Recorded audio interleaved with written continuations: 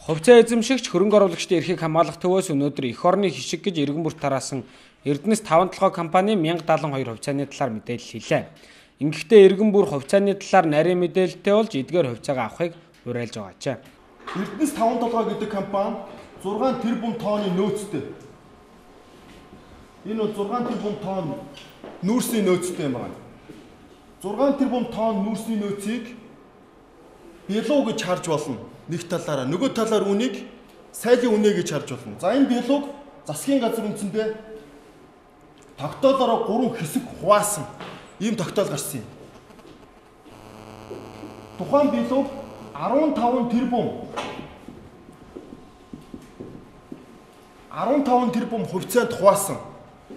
Тэгэхээр 7.5 тэрбум буюу 50%-ийг Эрдэнэс Монгол гэдэг компани аль бие ёсоор эзэмшүүлнэ гэсэн юм шийдвэр гарцсан. 4.5 тэрбум хувьцаа буюу 30%-ийг олон улсын хөрөнгө оруулагчдад болон дотоодын хөрөнгө оруулагч зарна гэсэн юм засгийн газрын тогтоол гарсан. 20% буюу 3 тэрбум хувьцааг 2.8 сэргэндээ тэнцүү хувааж өгөөд нэг хүнд ойролцоогоор 1072 ширхэг хувьцаа буюу нэг ширхгийн үнэ нь 933 төгрөг хилцүү сая төгрөгийн үнэтэй ийм хувьцааг иргэн болгонд өгсөн. Тэгэхээр хувьцаа авснаар 1000 доллар нь ирээдүйд үнд орвол энэ хүн 1000 доллар хувьцаагаа зараад өндөр үнээр үүрээ шиг хүртэх боломжтой. Тэгэхээр хувьцаа авснаар иргэд хувьцааны үнийн өсөлтөөр үүрээ шиг хүртэнэ. Хоёрт нь энэ хувьцаагаа хадгаснаар ноогдлоо шиг хүртэнэ. Гуравт нь хувьцаагаа нэмж худалдаж авч болно. Мөн хин нэгэндээ өвлүүлж өгч болно. Гэрээслүүлээд хин нэгэнд өгчөж болно барьцаан тавиад зээл авах боломжтой ийм л хөрөнгө юм байна. Эрдэнэс 5 толгой компани 1072 ширхэг хувьцааг эзэмшсэн ч энэ компанийн цаашд хичнээн жил тогтвортой үйл ажиллагаагаа явуулах талаар хүмүүс ихэд сонирхдог. Энэ талаар тэрээр ингэж тайлбарллаа. Эрдэнэс 5 толгой вебсайт дээр 6 тэрбум тонн нүрсийг 6 тэрбум тонн нүрсийг